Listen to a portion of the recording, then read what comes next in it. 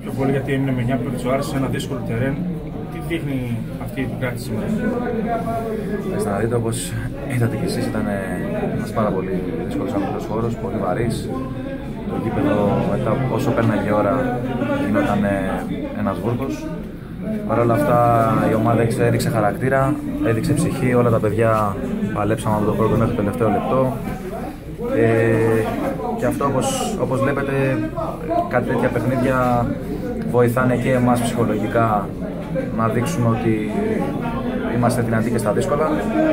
Και συνεχίζουμε το επόμενο παιχνίδι που είναι τις επόμενες, ε, τις επόμενες